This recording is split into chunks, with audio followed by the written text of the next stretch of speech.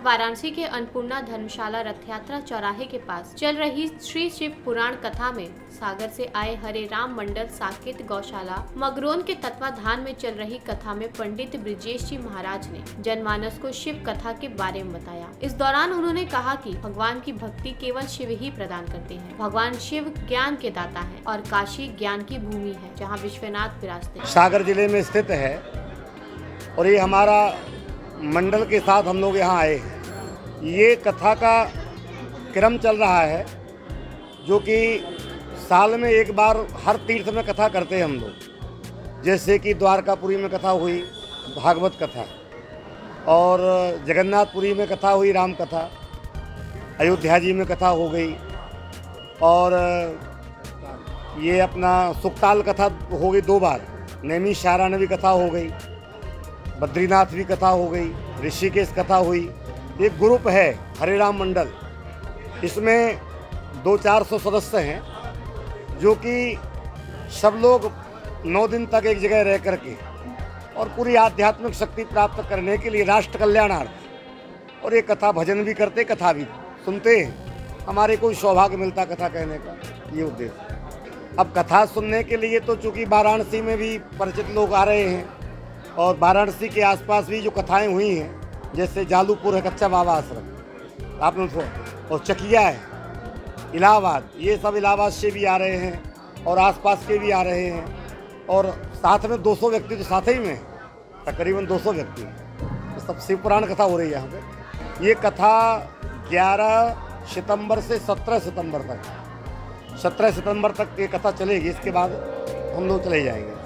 कथा कहने का उद्देश्य जो है, जन जागृति हो, जन के अंदर आध्यात्मिक शक्ति का संचार हो, सांसारिक, ये जो पाश्चात्य संस्कृति का जहर घुल गया है समाज में, हम अपनी भारतीय संस्कृति को भूलते जा रहे हैं, अपने बच्चों को अंग्रेज़ी पढ़ाते हैं, जो हमारी भाषा नहीं है। हमारी भाषा है देववाणी संस्कृत, और वो संस्कृत तो ये वाराणसी का गण है। संस्कृति बचाना है तो वाराणसी से शिक्षा लें, क्योंकि वाराणसी में ही संस्कार दिया जाता है। वेद यहाँ है। भगवान भोलेनाथ के द्वारा डमरू में से ही व्याकरण की उत्पत्ति हुई है। तो संसार के जितने विद्वान हैं, वो वाराणसी से ही उद्गम हुआ है उनका। इसलिए हम चाहते हैं कि आज के नव बालकों में संस्कार जावे। संस्कार यदि आ जाएगा तो भारत सुधर जाएगा। और संस्कार चला जाएगा तो भारत को समस्या होगी। इसलिए संस्कारवान बने, आध्यात्मिक शक्ति हमारे पास आए, ये उद्देश्य। वो उसका एक कारण है। क्या होता है, हम अपने बच्चों को पहले से ही संस्कार नहीं देते। जैसे माताएँ अपने बच्चे को दूध नहीं पिलाती, अपना सौंदर्य खत्म ना हो जाए, बाटल पकड़ा देती है। और वो बच्चा बाटल पकड़ते पकड़ते ऐसा अभ्यासी हो जाता कि बड़े में दूसरी बाटल पकड़ लेता है। ऐसे ही हम अपने बच्चों को शुरू से मोबाइल पकड़ा दिए।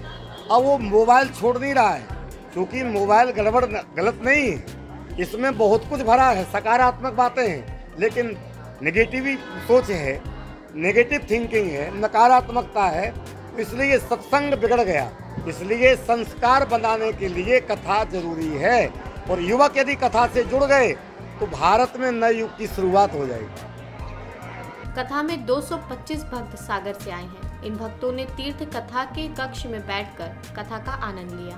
आज शिव विवाह की कथा में श्रोता मंत्र मुग्ध हो गए। कथा में आए अनेक शिव भक्त भक्ति में लीन दिखे। इस दौरान सागर से आए हरे राम मंडल के रामेश्वर प्रसाद तिवारी ने भी मीडिया से बात की। ये शिव महाप्राण की कथा हो रही है और हमारे जो है कथा के व्यास पंडित ब्रजेश जी महाराज साकित गौशाला सागर मगरौन से जो है आप पधारे हैं और आप जो है सभी को उपदेश दे रहे हैं और शिव महाप्राणी की कथा चल रही है। ये जो है कथा है 11 तारीख से 17 तारीख तक चल रही है। और सत्रह को इसका समापन है। यहाँ वाराणसी से तो सब लोग आ ही रहे हैं, बहुत सारे लोग परिचित हैं, पर वहाँ मध्य प्रदेश से बहुत लोग आ रहे हैं। उत्तर प्रदेश और मध्य प्रदेश से तो पेश है न्यूज़ बकेट हिंदी मासिक पत्रिका। पढ़ें इस महीने की पूरी खबर विस्तार से हमारे न्यूज़ बकेट की मैगजीन में। हमारी ई मैगजीन को मुफ़्त में पढ़ने के लिए अभी लॉग इन करें www.newsbucket.in पर इसके अलावा रोज की ताज़ा खबरों के लिए हमारे यूट्यूब चैनल को तुरंत सब्सक्राइब करें